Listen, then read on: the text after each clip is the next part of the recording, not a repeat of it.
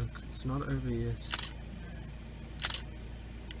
but it looks pretty close to Earth.